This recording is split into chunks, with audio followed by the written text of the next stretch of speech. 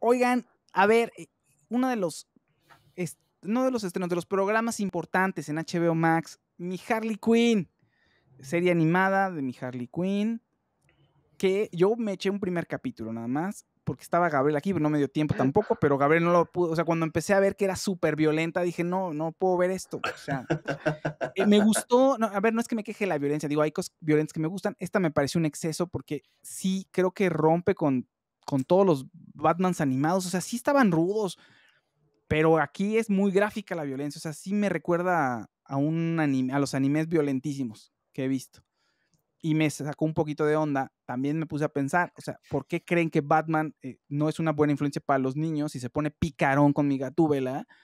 ¿Y por qué Harley Quinn sí debería estar ahí, aunque sea un villano? Pues lo que hace es, de verdad, se va al límite y tiene un humor negro, está divertido y todo.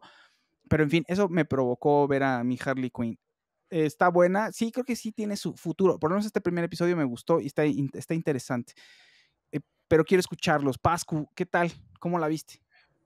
Sí, mi Faust, la verdad es que la semana pasada habíamos platicado que nos había faltado ese estreno en HBO Max y como si nos hubiera escuchado Warner Media, al día siguiente estrenaron Harley Quinn, enseguida le mandé mensaje a Daniel y dije, hay que verla para, para platicarla con el Faust.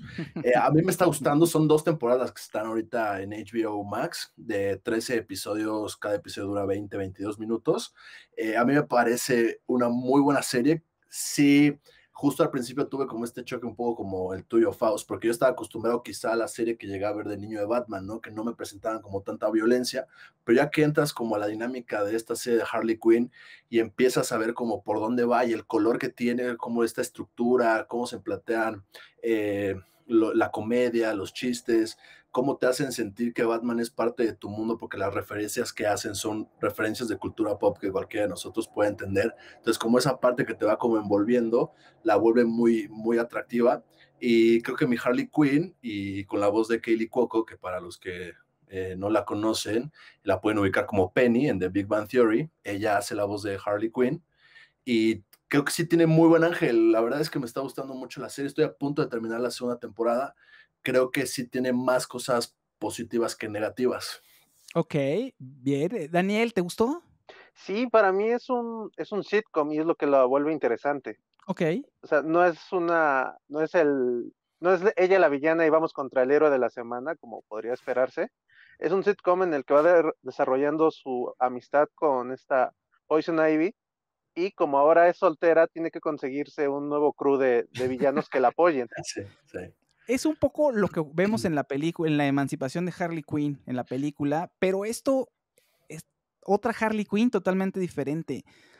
Me gustó más, creo que sí, o sea, creo que es un personaje que está loco, creo que es un villano, villano, villano, y que no hay como para dónde hacerse. En la película de Harley Quinn, sí podrías pensar que, ay, eh, como un poco pobre, es víctima de, ha sido víctima de maltratos, abuso, y se mereces triunfar y, la quieres. Y, aquí también la quieres, pero está loca, o sea, es una loca, es una eh, violenta, es una asesina. Eso es lo que, es que sí está bien gráfica, pero me gusta mucho esa parte que acabas de mencionar. La quieren como disculpar en la película. Ajá, exacto. Y eso es parte de lo que no me gustaba porque al final del día es una villana.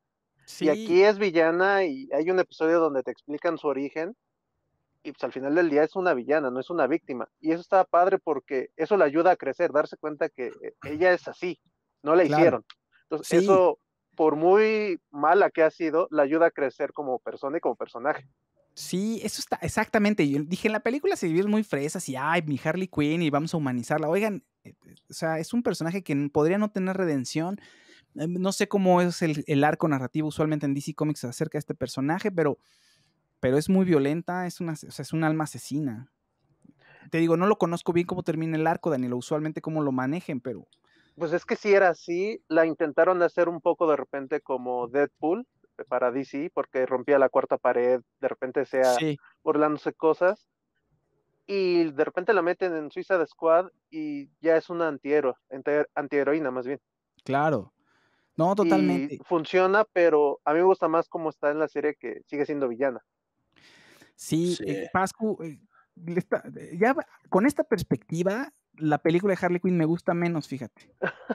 Sí, es, mala. es que acá también, acá, sí, como dice Daniel, o sea, sí tiene un punto en el que partes con esta, esta visión que tenemos nosotros, ¿no? De la fiel acompañante del guasón y viene el punto de quiebre de ese momento y ves cómo se transforma e intentas entender quizá el tipo de Harley Quinn que vemos en las películas, ¿no? El diferente look, el cabello como platinado, las colitas con las tonalidades al final del cabello, entonces intentas como entender un poco más y te hace como más match, pero como dice Daniel, creo que el desarrollo que tiene la serie es, es mucho mejor, está como que se dan el tiempo de construirte bien la, la historia de Harley Quinn, te muestran un poco de su pasado, obviamente del presente, no dejas de ver a Batman porque está constantemente apareciendo, a los otros grandes villanos de, de Ciudad Gótica, ves a los, a los otros miembros de la Liga de la Justicia, o sea, es una serie como muy completa en cuestión de, de quizá de fandom para la, la, gente que le gusta mucho DC, pero sí concuerdo con, con Danielo que decía hace rato, la parte de la comedia creo que acá es muy interesante cómo la manejan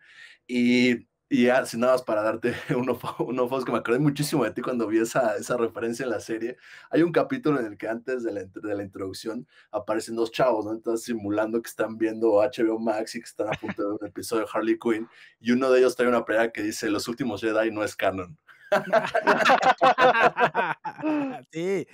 Ah, tiene otro detallazo. Eh, en el primer episodio, de, o Harley Quinn dice que el guasón se le declara. Entonces hay una escena en la que él, ella recuerda donde el guasón se le declara y le dice, pues ya hasta que, hasta que la muerte nos separe y le da un anillo de compromiso. Y ya cuando, cuando está explorando esto y, y, detrás de toda esta ilusión, descubre que no, que en realidad, o sea, era una escena totalmente diferente.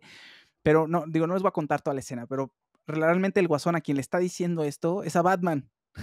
y Harley Quinn piensa que es a ella, pero en realidad la quien le está diciendo hasta que la muerte nos separe es el guasón, le dice a Batman. Entonces hay una relación ahí muy extraña entre Batman y el guasón, que los dos se aman y nadie, o sea, todo el tiempo se persiguen y nada se consuma, pero ninguno mata al otro, etcétera, etcétera, etcétera. Entonces eso está muy divertido, tiene grandes momentos la serie. Muy violenta, eso sí, o sea, no es para niños, pero está bien. Y Katie Cuoco, que tiene su nueva serie también en HBO Max, que se llama Fly Attendant, que está, también vi un capítulo está buena, está interesante, tiene un humor, está, bien, me está gustando, me está gustando. A ver, me voy a echar más capítulos de lo que le decía Daniel. Yo sé que ustedes dos ya la vieron, pero quiero saber si vale la pena que, nos tomemos mucho más tiempo para platicar a todos sabrosonamente o, o no.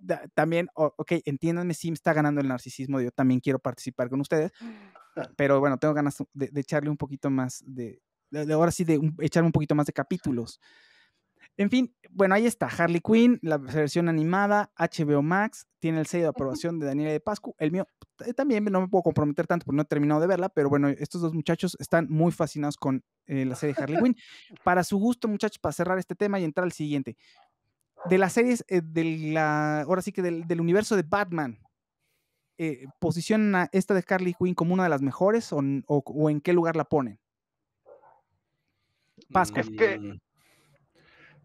Pues sí, podría ser. La verdad es que del mundo de DC, a mí lo que más me ha gustado en los últimos años, en los que ya tengo como la conciencia de recordar lo que veía, es más el producto animado que las películas, es la verdad. Todas las, no sé, por ejemplo, la de Dark Apocalypse, La Guerra en Apocalipsis, con la Liga de la Justicia, me parece una película bastante interesante. Eh, creo que sí, esta serie, dentro de las que yo he podido ver, quizá Daniela pudo ver más que yo, pero dentro de esta de la, la que veía tradicional de Batman, la de Batman del futuro, esta de Harley Quinn, creo que sí podría estar como en mi top 3.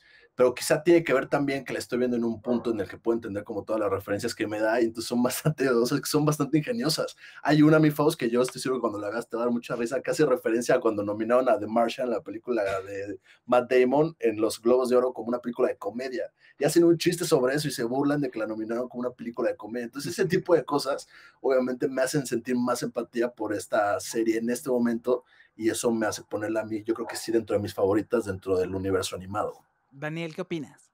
Sí, es de, es de las mejores. No sé si la encerraría nada más en lo de Batman, sino a nivel general de DC. Pero también es diferente a todo lo demás porque sí es más sitcom que, que onda superhéroes o villanos. Pero de que vale la pena, vale la pena.